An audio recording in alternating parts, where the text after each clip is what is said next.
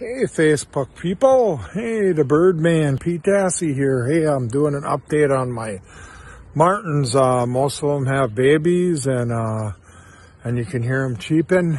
Uh, I'll see if I can get a close up on here. Uh, this house here, you can see one sticking his head out on the top and there's actually one on the bottom. And over at that house, you can hear them cheeping. Yeah.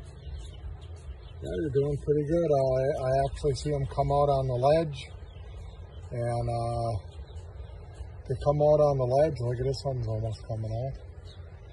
Yeah, so I'll do another one over the weekend here. I just wanted to show everybody that, uh, yeah, the babies are hatched and they're just cheeping. And who knows, in a little bit uh, they'll be in flight. And uh, uh, what are we in July? And then you figure uh, uh, they're most half of August and they'll be going away already.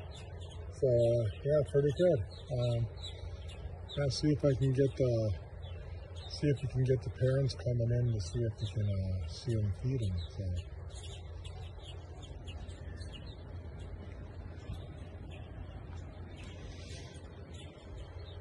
Here comes on their food now. I don't know which house uh, you went into that one yeah, otherwise you can see, watch them feed. Uh, yeah, pretty exciting. And then they, they zoom up and they, they get the uh, insects, whatever they get, um, mosquitoes and bees and wasps or whatever, and they come in and yeah, they just zoom in and see they're just and uh, otherwise yeah, it's kind of hard. So.